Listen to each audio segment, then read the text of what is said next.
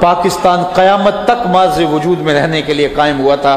ये ना मिटेगा और ना मिटने के लिए बनाया गया था। लाखों लोगों की कुर्बानियाँ और लाखों लोगों का खून इसकी बुनियादों में पड़ा हुआ है और ये पाकिस्तान क़यामत तक कायम रहेगा और इस पाकिस्तान से निज़ाम रसूल के सवेरे तुलू होंगे। इस्लाम को उरूज मिला था। इस्लाम का आगाज़ हुआ था तो मदीना तो रसूल और मक्का तो मुकरमा से हुआ था। और कुर्ब क़यामत में जब इस्लाम की नशत सानिया होगी तो उसका बुनियादी प्लेटफार्म पाकिस्तान होगा।